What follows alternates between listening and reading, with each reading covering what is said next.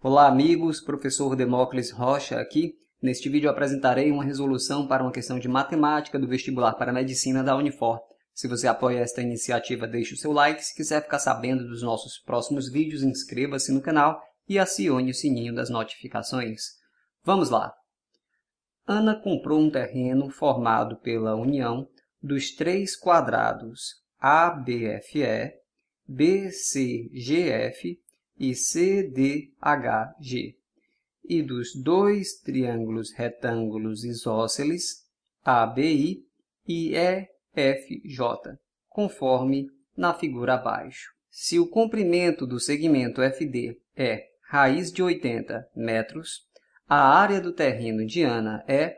Aí você tem os itens. Muito bem, pause o vídeo, tente resolver, acompanhe agora uma resolução. O que o enunciado pede? Ele pede a área do terreno de Ana. O que nós sabemos?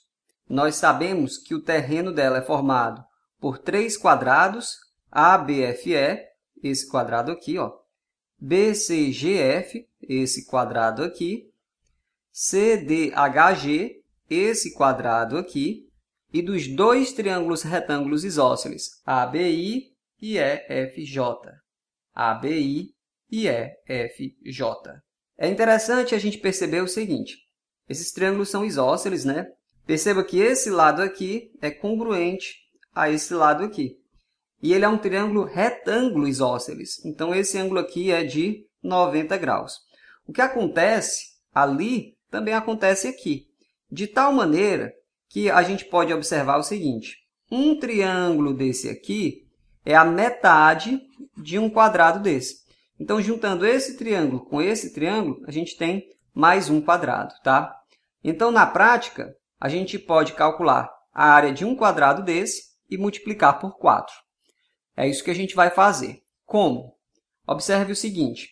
Foi dada a informação de que FD tem uma medida de raiz de 80 metros. Então, vou anotar bem aqui, raiz de 80 metros, ok? Eu posso fechar um triângulo retângulo aqui, ó, desse jeitinho. Aí, esse lado aqui do triângulo retângulo corresponde ao lado do quadrado. Eu vou indicar a medida por A. Dessa maneira, o segmento FH, naturalmente, vai ter uma medida correspondente a 2A. Esse ângulo aqui é um ângulo de 90 graus, porque é um ângulo de um quadrado aqui, né?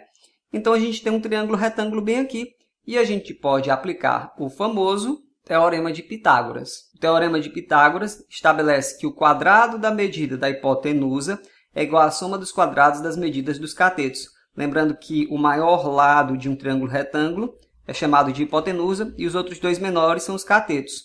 Nesse caso, a gente fica com o quadrado da raiz quadrada de 80 igual ao quadrado de A mais o quadrado de 2A. Beleza? Então, raiz quadrada de 80 ao quadrado resulta simplesmente em 80. A raiz vai embora aqui com esse expoente. a ao quadrado eu vou só repetir. 2a ao quadrado é 2a vezes 2a, resulta em 4a ao quadrado. a ao quadrado mais 4a ao quadrado é 5a ao quadrado. Dividindo por 5 os dois lados da equação agora, 80 dividido por 5 é 16. 5a ao quadrado dividido por 5 é só a ao quadrado. Agora eu gostaria de lembrar que a área de um quadrado é igual ao quadrado da medida do seu lado. O lado aqui é a, então a área de um quadrado desse aqui é a ao quadrado, isto é, é 16 metros quadrados. Então, a área de cada quadrado é 16 metros quadrados. Mas, como a gente observou no início, a gente vai calcular 4 vezes esse valor. 4 vezes 16 é igual a 64. Então, a área do terreno de Ana é de 64 metros quadrados. Item correto, item C de casa. Esse vídeo foi feito de coração para te ajudar. Se você pensou em uma maneira mais rápida ou mais fácil de resolver esse problema, Deixe um comentário explicando o seu raciocínio, eu vou gostar de ver e vai ajudar outras pessoas. Se esse vídeo te ajudou e você quiser simplesmente deixar um comentário para dar uma força para o nosso canal, você pode deixar um comentário com uma carinha sorrindo. Para aulas particulares de matemática em Fortaleza comigo, o professor Demócles Rocha, o telefone é 987 56 5376. A gente fica por aqui, um abraço e até a próxima. Tchau!